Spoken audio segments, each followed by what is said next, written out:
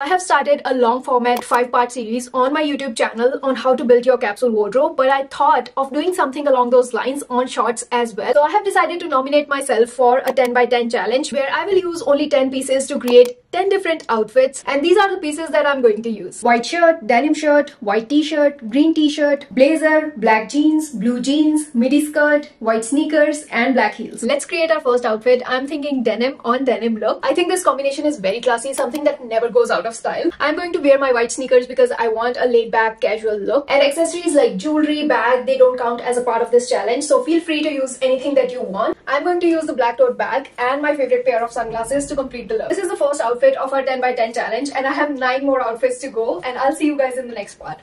Bye!